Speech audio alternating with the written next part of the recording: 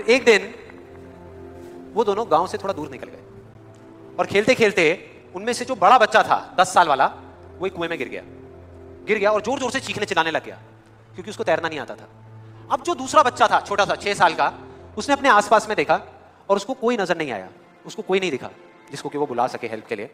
और फिर उसकी नज़र पड़ी एक बाल्टी पे जिसपे एक रस्सी बंधी हुई थी। उसने एक सेकंड भी वेस्ट नहीं किया, उस बाल्टी को उठा करके कुएँ में फेंक दिया और अपने दोस्त को बोला कि पकड़ ले इसको। उसके दोस्त ने पकड़ा और वो अपनी पूरी ताकत लगा करके पागलों की तरह उसको खींचने लगा। खींचता रहा खींचता रहा खींचता रहा, अपनी पूरी जान लगा दी उसने। छोटे से बच्चे ने छह साल के।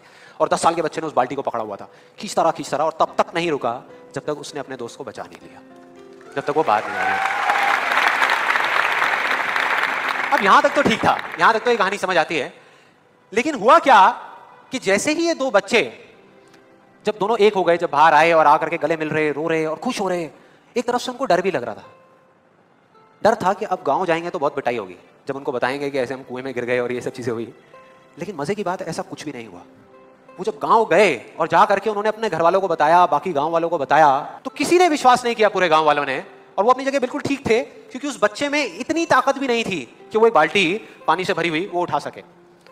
तो इतने बड़े बच्चे को इतनी ऊपर खींचना तो बहुत दूर की बात है। लेकिन एक आदमी था उस गाँव में, उसने विश्वास कर लिया।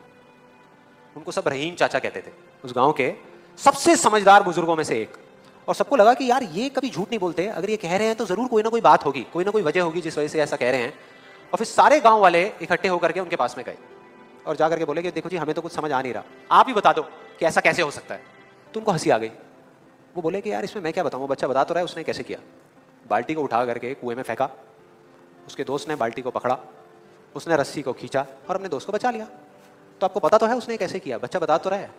इसमें मैं क्या बताऊँ? तो सारे गाँव वाले उनकी शक्ल देख रहे फिर कुछ देर बाद वो बोले कि सवाल ये नहीं है कि वो छोटा सा बच्चा ये कैसे कर पाया।